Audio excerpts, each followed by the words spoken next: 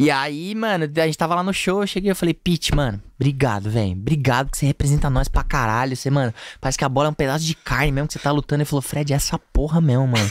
Eu amo esse caralho aqui, mano. Essa torcida é foda pra caralho. E, mano, eu quero a porra do Mundial, mano. Ele falou, quero a porra do Mundial, mano. Tô cansado desses filha da puta fazer essa piada do caralho comigo, mano. Eu quero essa porra, eu vou ganhar essa porra. Falei, Ele é sangue no "Nossa." zóio, né? É. Mano, pra mim, não tem porquê, entendeu? Ele fala pra fazer média. Comigo, trocando ideia aqui assim, tá ligado? Tava eu, ele. Zero um câmera ligada. Zero câmera ligada. Ele falou, quero mundial, mano, quero essa porra, velho. E aí eu falei, caralho, pitch, é isso, a gente vai buscar, mano.